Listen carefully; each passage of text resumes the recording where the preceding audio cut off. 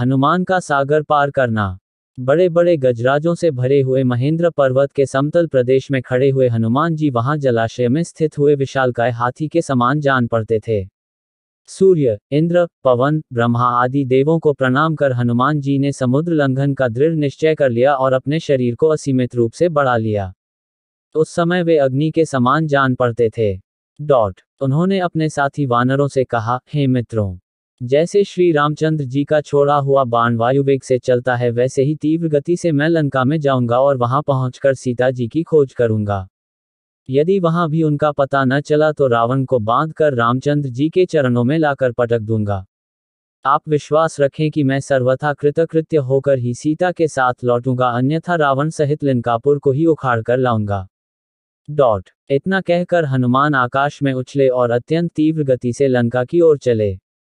उनके उड़ते ही उनके झटके से साल आदि अनेक वृक्ष पृथ्वी से उखड़ गए और वे भी उनके साथ उड़ने लगे। फिर थोड़ी दूर तक उड़ने के पश्चात वे वृक्ष एक एक करके समुद्र में गिरने लगे। वृक्षों से पृथक होकर सागर में गिरने वाले नाना प्रकार के पुष्प ऐसे प्रतीत हो रहे थे। मानो शरद ऋतु के नक्षत्र जल की लहरों के साथ अटखेलियाँ कर रहे हों। तीव्र गति से उड़ते हुए महाकपि पवन सुत ऐसे प्रतीत हो रहे थे जैसे कि वे महासागर एवं अनंत आकाश का आचमन करते हुए उड़े जा रहे हैं। तेज से जाज्वल्यमान उनके नेत्र हिमालय पर्वत पर लगे हुए दो दावानलों का भ्रम उत्पन्न करते थे।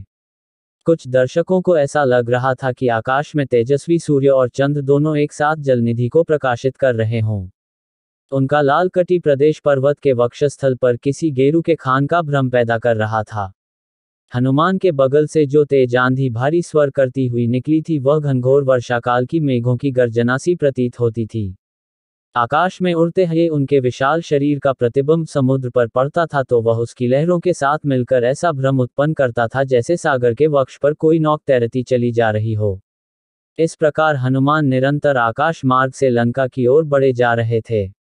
डॉट, हनुमान के अद्भुत बल और पराक्रम की परीक्षा करने के लिए देवता, गंधर्व, सिद्ध और महर्षियों ने नागमाता सुरसा के पास जाकर कहा, हे नागमाता तुम जाकर वायुपुत्र हनुमान की यात्रा में विघ्न डालकर उनकी परीक्षा लो कि वे लंका में जाकर रामचंद्र का कार्य सफलतापूर्वक कर पाएँगे या नहीं?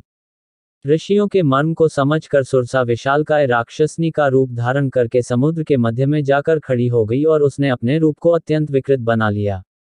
हनुमान को अपने सम्मुख पाकर वह बोली, आज मैं तुम्हें अपना आहार बनाकर अपनी क्षुधा को शांत करूँगी।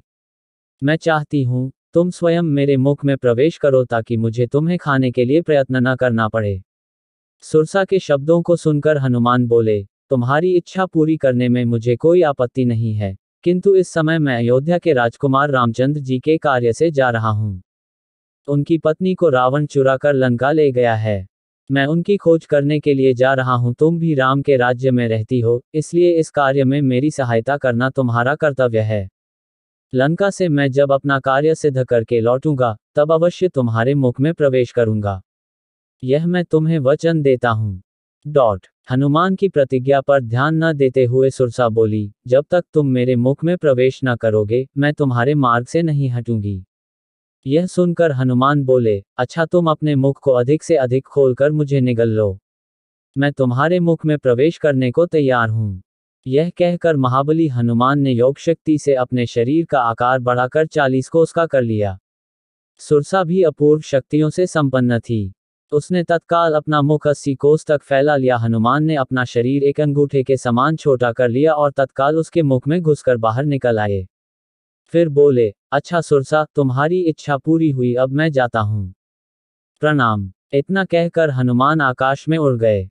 डॉट पवन सुत थोड़ी ही दूर गए थे कि सिन्हिका नामक राक्षसनी की उन पर दृष्टि पड़ी। वह हनुमान को खाने के लिए लालयित हो उठी। वह छाया ग्रहण विद्या में पारंगत थी। जिस किसी प्राणी की छाया पकड़ लेती थी, वह उसके बंधन में बंधा चला आता था। जब उसने हनुमान की छाया को पकड़ लिया तो हनुमान की गति अवरुद्ध हो गई। उन्होंने आश्चर्य से सिन्हिका की ओर देखा। वे समझ गए सुग्रीव ने जिस अद्भुत छायाग्राही प्राणी की बात कही थे, संभवतः यह वही है।